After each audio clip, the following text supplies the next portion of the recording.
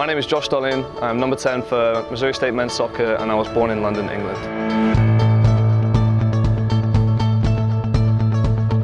The best part about coming over to America has been just the college environment. I don't think we really have that in England with athletics and sororities and fraternities. You know, the whole community as a whole has been really good. And I've made a load of good friends here for life, probably.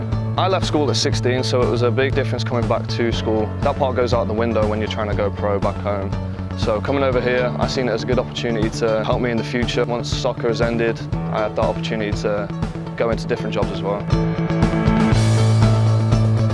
California by far was the best. You know, the whole trip was good. We went to the beach. The environment was good. The temperature was good.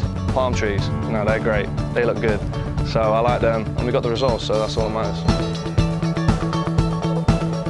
Drinking tea, yes, a lot. Me and uh, Will Osgathorpe, another player on the team, big tea drinkers, and uh, he got some stuff sent from home, bought a kettle, and you know, we have a cup of tea from now and. You know, breakfast is a, it's a must, you know, and anytime I just get bored, you know, I just have a cup of tea, it just fills the time, you know what I mean? It's nice. I enjoy the American food, but I haven't quite got used to it yet. I can't go to a gas station and know what I'm going to get. I know exactly what I'm going to get when I go to England. I can take five pound in and I've got it. Big fan of the cashew chicken. I haven't tried it in England. No, this was the first time I tried it. I enjoyed it. Chicken and waffles. I've never understood that one. The savoury and the sweet, that doesn't sense to me. No chicken waffles, that's not for me.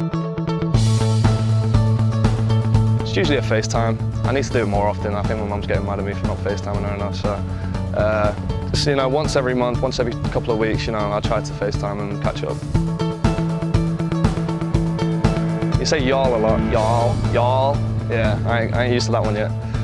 Y'all. The word mate gets, uh, gets a lot of looks. Every time I, I say mate, I'll be like, oh, you're right, mate. You know, they don't, they're not used to it, the Americans, and I always get a look, so I try to use that one when I can. To all the best supporters, I'd love you to come out to the games. You know, we get a real buzz when you guys come out and we're trying to win and do big things this season for you guys, so um, bear up.